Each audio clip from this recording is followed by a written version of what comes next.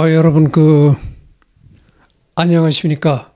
오늘이 그 토요일 어, 토요일 저녁 6시 10분을 지금 가리키고 있네요.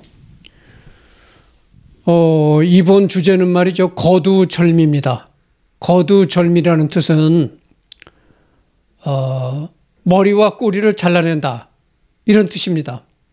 그러니까 여러분들 머리와 꼬리를 잘라내니까 그 머리와 꼬리를 잘라낸다는 뜻이 거두절미거든요. 어. 그러니까 머리와 꼬리를 잘라내니까 뭐겠어요? 어. 알 수가 없는 겁니다. 그걸 이제 거두절미라고 하는데요. 그래서 그 여러분들 내가 왜 거두절미를 이제 그 오늘의 주제로 삼냐면은 이제 대통령 선거가 가까워오잖아요. 그 대통령 선거가 가까울수록 이제 그 열기가 뜨거워지는 겁니다. 굉장히 그 대통령 선거에 대한 그런 열기가 뜨거워지고 한 곳, 한 곳에서는 이제 그 민주당을 지지하는 측에서는 이제 그 정권 연장, 정권 연장을 주장하고 또 그 야당 그 국민의 힘을 지지하는 사람들 쪽에서는 이제 정권 교체. 그래가지고 정권 연장과 정권 교체를 주장하는 어, 두 가지 목소리가 굉장히 뜨거워지고 있습니다. 열기가 높아지고 있는데요.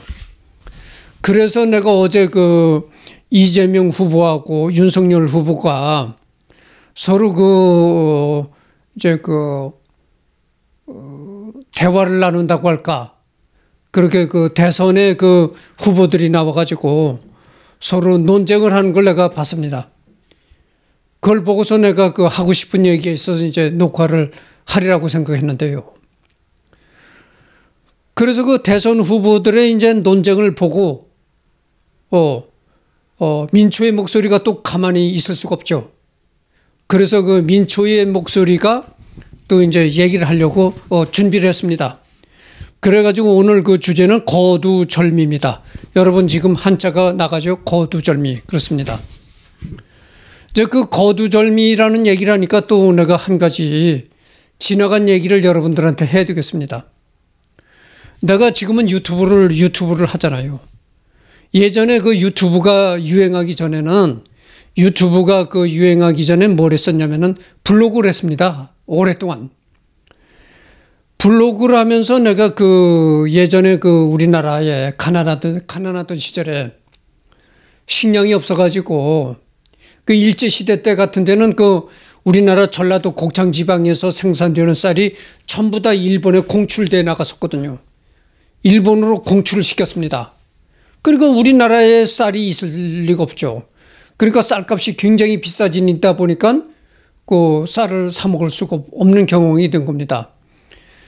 그래서 그때 일제 시대 때는 이제 뭐, 어, 어, 소나무 송지를 빗게 먹고 그랬었거든요. 그런 이제 촉은 목표한다고 그러죠. 그래서 그 예전에 그 내가 블로그를 했는데 블로그에 어떤 내용의 글을 올렸었냐면은 그렇게 그 일제시대 때 얘기를 블로그에 글을 써서 올린 겁니다. 글을 써서 올리면서 이제 그 촉은 목표하는 그런 얘기들을 써서 올린 겁니다. 써서 올려서 올리면서 뭐라고 내가 얘기를 했냐면은 예전에는 먹을 게 없어가지고 산에 올라가서 칡을 캐먹고 소나무 속껍질을 벗겨 먹었다. 이런 얘기들을 글을 써서 올렸어요. 글을 써서 올렸는데 그 이튿날인가 하여튼 내가 그 공장에 나가서 일을 열심히 정신없이 하고 일을 하고 있는데 전화가 어떤 그 난 모르는 전화가 온 겁니다. 잠깐만요. 무슨 전화가 왔네요. 잠깐만 기다려 주십시오. 네. 그래서 어, 이, 정신없이 일하는데 몰두하고 일을 하고 있는데 어떤 그 난 모르는 사람한테 전화가 온 거예요. 그 전화를 받아 보니까 아무 얘기도 안 하고 진짜 거두절미입니다. 어. 머리와 꼬리를 다 떼어버리고 칙 칙이 뭡니까? 그러니까 내가 갑자기 칙하니까 아니 칙이 뭡니까? 그러잖아요. 아니 전화를 받았는데 전화를 받으니까 거두절미하고 앞과 뒤를 다 잘라버리고 칙. 그러니까 내가 그 얼뜻 생, 책임 뭔가 이렇게 생각이 들 거 아닙니까? 그러면, 아니, 책임 뭡니까? 내가 되물었어요. 그랬더니 또 아무 얘기도 안 하고 치, 또 이러는 겁니다. 그래서 내가 또, 아니, 도대체 책임 뭡니까? 그리고 또 치, 이래요. 그 세 번을 그랬다. 그 세 번을 내가 다 알아듣지 못했습니다. 우리 말인데도 알아듣지 못했다. 그 말이죠. 아니, 외마디로 그냥 칙, 칙이 뭡니까? 칙, 칙이 뭡니까? 칙, 칙이 뭡니까? 세 번을 그러더라고. 그러더니만 전화를 끊어버리더라고. 세 번씩 했는데도 내가 그 말을 못 알아들으니까 전화를 끊더라고. 그런 거예요. 그렇게 거두절미하고, 어? 머리와 꼬리를 다 떼어내버리고, 위마디 소리로 칙! 이러는데 칙이 뭔가 못 알아듣죠. 당연할 것 아닙니까? 그런 식으로 말이에요. 어제 그, 그, 대통령 후보들이 나와서 논쟁을 하고 있는데, R200, 그러니까, 당연히 윤석열 후보는, 아니, R200이 뭡니까? 이럴 수밖에 없는 겁니다. 더군다나 R200이라는 건, RE라는, RE라는 건 영어 스펠링이잖아요. 우리 한글도 아니고. 그러니까 우리 한글도 아니고 영어 스펠링으로 된 거는 글자를 써놓고 이, 이 게 뭐 경제 용어다 이렇게 얘기를 하면서 RE백, RE백에 관한 진지한 생각을 해보셨습니까? 이렇게 물어야 아, 윤석열 씨가 그걸 알아들을 텐데, 어? 아닌 밤중에 홍두깨식으로 RE백이라는 걸 압니까? 알리백이라는 걸 들어보셨습니까? 거두절미하고, 어? 내가 아까도 얘기했잖아요. 거두절미하고 칙, 이러니까 칙이 뭡니까? 똑같은 겁니다. 거두절미하고 아리백이, 아리백이라고 들어보셨어요? 아리백이 뭡니까? 이렇게 나올 수밖에 없는 겁니다. 응? 그래서 어제 그 윤석열과 이재명이가 그 어, 논쟁을 한 거 보면은 이재명의 얄팍한 술수가 또다시 그 탄로날 수밖에 없었다. 그래가지고 어, 선진국들은 뭐 이렇게 그 에너지 무슨 걸로 인해 가지고 어, 그런 조직체를 해 꾸렸는데 그런 조직, 뭐 그런 조직이라든가 하여튼 그, 그것을 알리백이라고 하는데 알리백에 관해서 좀, 좀 진지하게 생각을 해 보셨습니까? 이렇게 물어봐야 되는데 거두절미하고 알리백에 관해서 뭐 들어본 적 있습니까? 알리백이 뭡니까? 당연히 그럴, 그럴 수밖에 없는 겁니다. 그래서 거두절미하고 알리백이 딱 던지니까 못 알아들으면은 못 알아듣는 건 당연하죠. 못 알아들으면은 뭐 무식하다느니, 예.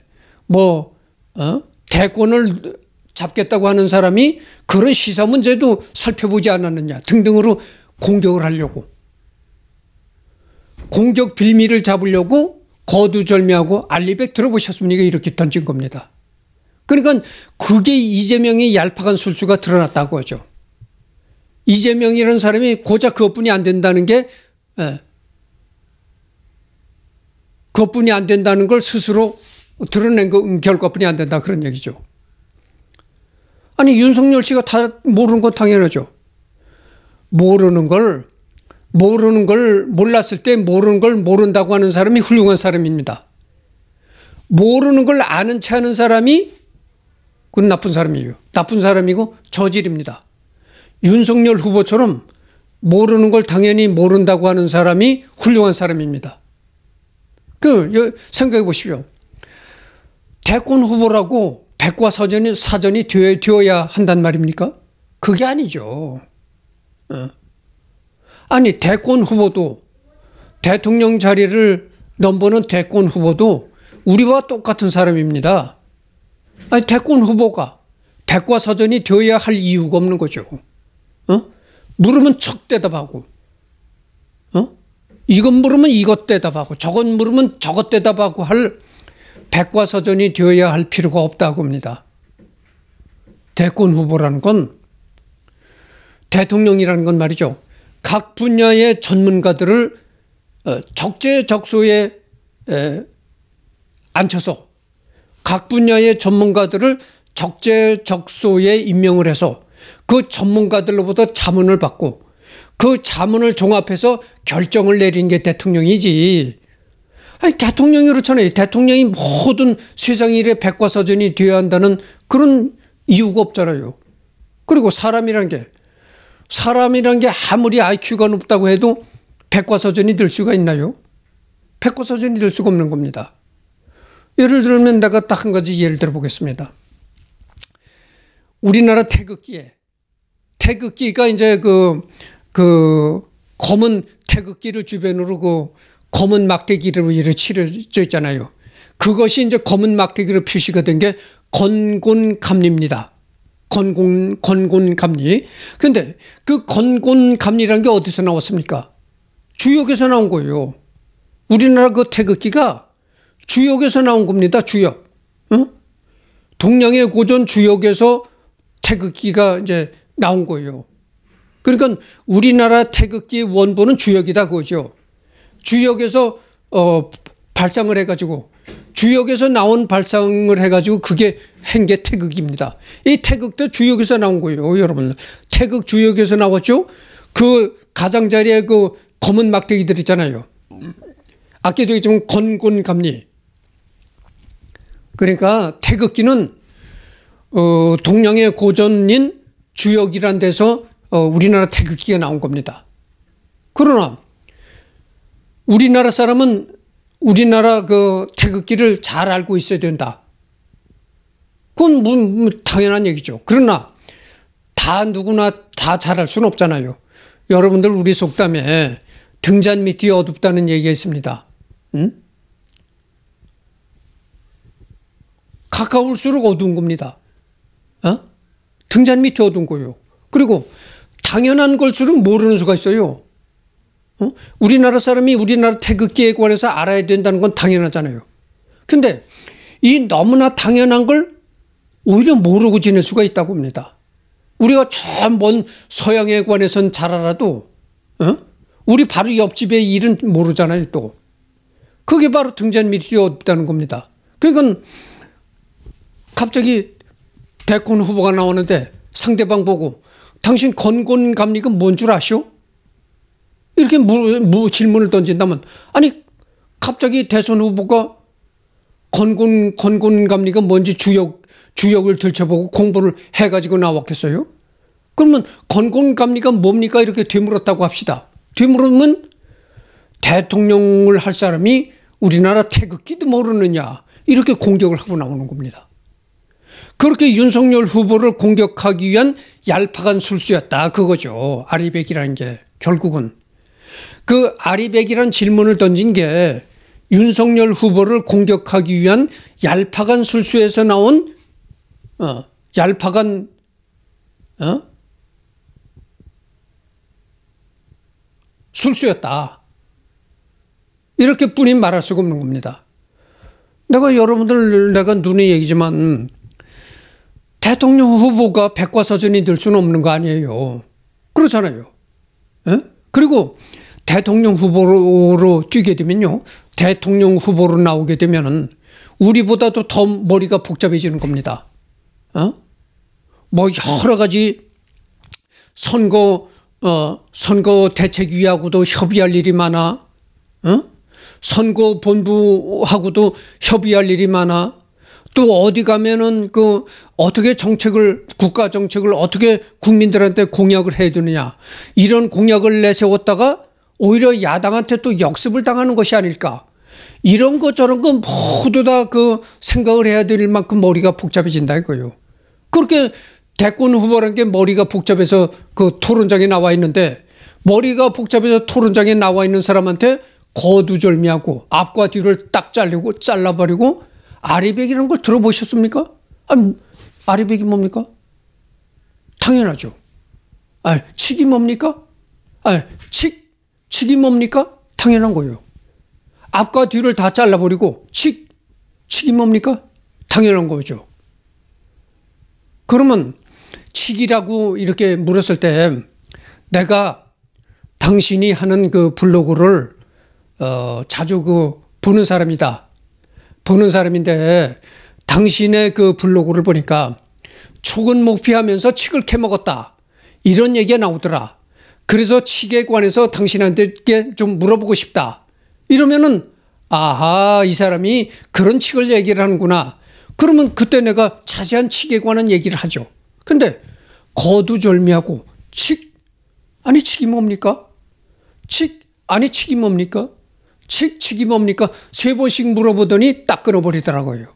그 거두절미하고 RE백이란 거 들어보셨습니까? RE백이 원래 RE가 영문 스펠링으로 된 건데 영문 스펠링이란 얘기도 안 하고 그냥 RE백 들어보셨습니까? 아, 알을 200개 낳는다는 게 아리백인가? 아리백이 뭡니까? 그럴 수밖에 없는 거예요. 아니 거두절미하고 아리백이 뭡니까? 아리백이란 거 들어보셨습니까? 아리백이 뭡니까? 이게 당연 당연하죠. 더군다나 그 머리가 복잡해서 머리가 복잡해서 나와 있는 사람한테 거두절미하고 아리백이란 거 들어보셨습니까? 당연한 거예요. 음? 뒤묻는 거 당연한 겁니다. 그래서 내가 이번 주제를 거두절미라고 이제 그 얘기를 꺼냈습니다. 또 이제 그 우리나라 그 정치권에서 그 통용된 요즘에 유행하는 단어, 단어가 이런 단어가 있어요. 안미 경중이다. 예? 안미 경중. 이거는 무슨 거냐면은 이것도 이게 한자 말인데 한자로 그, 어, 조화, 한자로 그 만든 언어인데 안미, 안보는 미국이다. 그러니까 우리나라 그 국방의 안보는 미국의 미국이고 경중 경제는 중국이다 그 말이죠. 그러니까 경제는 중국과 손을 잡고 안보는 미국과 손을 잡는다 이런 이제 의미에서 안미경중이라는 얘기를 꺼낸 겁니다. 안미경중이라는 그 한자어를 만든 겁니다. 근데 이, 이 대권 후보들끼리 토론을 하면서 안미경중을 생각해 봤습니까? 이게 원래 한, 한자로 된 말인데 한자로 쓰지도 않고 아까 아리백이라는 걸 말, 아, 아리백이라는 것처럼 아리백이라는 거 아리라는 그 영어 스펠링으로 된, 거, 된 거잖아요. 그러니까 이것도 이것도 한자어로 된 말인데 한자로 쓰지도 않고 그냥 말로 안미경중을 들어보셨습니까? 아니 안미경중이 뭡니까? 되묻는 건 당연한 거예요. 아니 거두절미하고 안미경중이면은 요즘에 우리나라가 중국과 뭐 어, 경제적으로 그 교류를 많이 하고 또 미국은 안보 어, 미국은 그 어, 우리나라 안보에 관해서 그렇게, 그렇게 하는데 평소에 안미경 중에 관해서 생각해, 생각해 보셨습니까? 이렇게, 어? 얘기를 해야 안미경 중에 대해서 이 대답이 나올 거 아닙니까? 근데 거두절미하고, 어? 앞과 뒤를 다 잘라내 버리고 안미경 중에 생각해 봤습니까? 안미경 중이 뭡니까? 당연한 거죠. 더군다나 이 안미경 중이라는 게 우리나라 고유의 말도 아니고 이게 한자로 만든 말이니까 한자로 써서 얘기를 하면은 통하지만 그냥 어, 그 글로 써서 하면 통하지만 그냥 글로 쓴 것도 아니고 그냥 얘기로 다잡고자 안미경 중에 관해서 생각해 보셨습니까? 안미경 중이 뭡니까? 당연한 겁니다.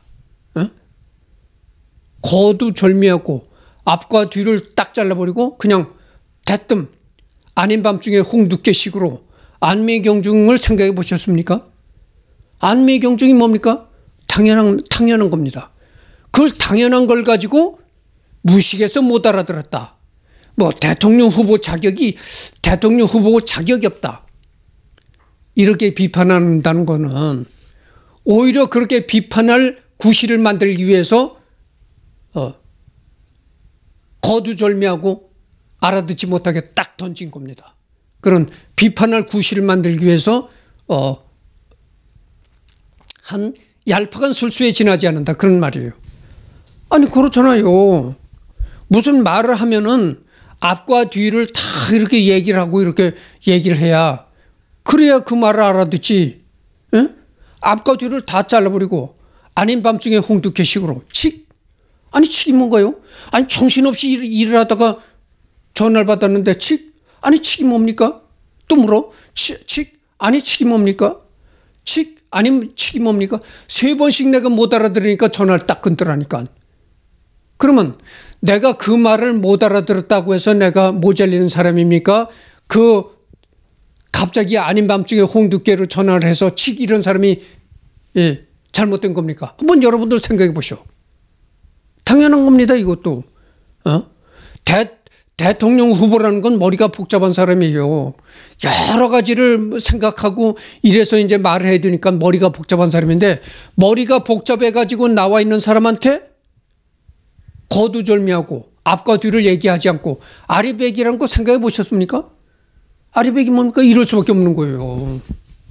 그, 그걸 꼬투리 잡아가지고 뭐 무식하다느니 뭐 어? 대통령 자격이 없다느니 이렇게 이제 공격할 꼬투리를 잡은 겁니다. 그 여러분들 생각해 보세요. 나, 내가 아껴도 얘기지만 우리나라 국기가 태극기입니다. 그러나 우리나라 국기가 태극기라고 해가지고 건곤감리가 주역으로 어떻게 주역이 어떻게 나오죠? 건곤감리가 주역에 어떻게 해설이 되어 있나요? 아니 이렇게 물어보면 아무리 우리나라 태극기라도 건곤감리에 대해서 설명할 사람이 몇 사람이나 있겠어요. 근데 다짜고짜 딱 잘라버리고 우리나라 태극기의 건곤감리가 뭡니까? 이렇게 물어보면 우리나라 태극기의 건곤감리에 관해서 들어보셨습니까? 그러면 건곤감리가 뭡니까? 이렇게 되물을 수밖에 없는 겁니다. 되물으면 공격할 꼬투리를 잡은 겁니다. 아니 네가 한국 사람인데 한국 국기도 네가 모르느냐? 한국 태극기도 네가 모르고 있느냐? 꼬투리 잡아 공격할 거리를 만들어 만든 겁니다. 그래서 어제 내가 그 대통령 후보 그 어, 논쟁하는 걸 이렇게 보면은 정말 그 어, 이재명이가 술수가 너무나 얄팍한 술수가 드러났다. 아, 이런 얘기입니다. 그래서 오늘 주제는 그 어, 거두절미라는 그 사자성어를 얘기했습니다.